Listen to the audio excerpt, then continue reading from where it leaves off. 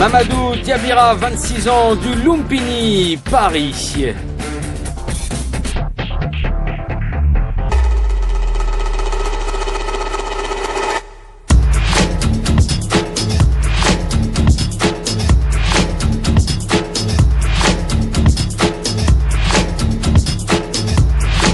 J'ai travailler ses, points avec le middle. Par la suite, j'ai travaillé le corps à corps et c'est ce qui a payé. J'ai touché avec des genoux et ont jeté l'éponge. Pour moi, à partir de la cinquième place, c'est tous des sérieux clients. Ils ne sont pas là au hasard.